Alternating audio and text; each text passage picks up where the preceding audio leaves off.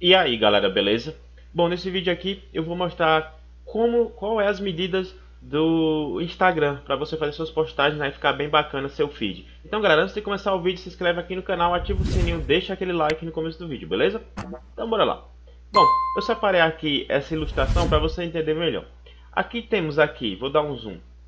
No, a imagem do perfil, você tem que criar um arquivo de 720 pixels por largura e altura também 720 pixels.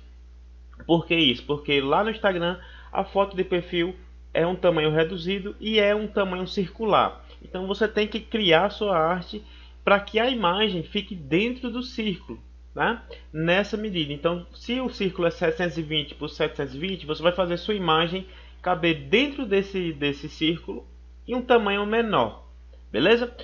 Outra coisa também, a imagem do Stories.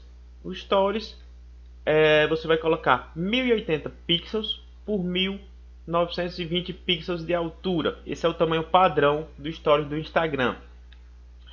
E aqui onde tem o pulo do gato. Muitas das vezes você cria um arquivo quadrado no Instagram para postar no feed. Fica bacana também, só que aí você tem mais algumas limitações. Um exemplo, se eu colocar aqui 1080 por 1080, é uma imagem quadrada no feed. Você vai colocar tudo direitinho, ela vai se encaixar perfeitamente. Só que aí você tem um porém. Ele vai ficar aparecendo muitas informações que não vêm para o seu cliente ou para o seu seguidor.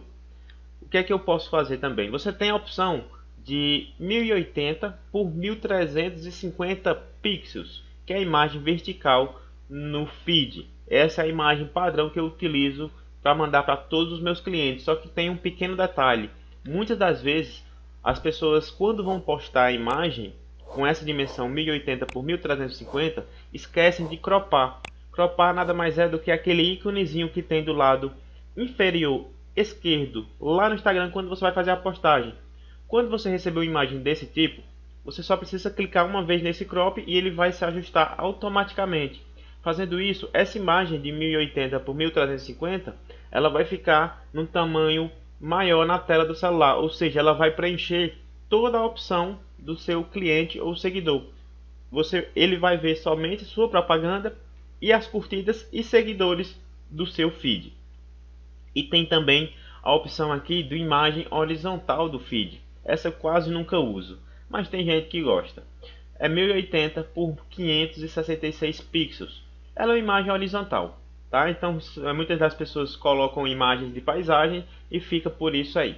Beleza? Eu vou estar deixando esse card aqui lá no meu Instagram para você curtir e copiar aí as informações e divulgar para os seus seguidores ou se você vai precisar para é, futuramente você utilizar. Beleza? Então galera, esse foi o vídeo. Espero que eu tenha ajudado. Curta o vídeo, comente, se inscreva no nosso canal. Isso ajuda pra caramba. Valeu? Fui!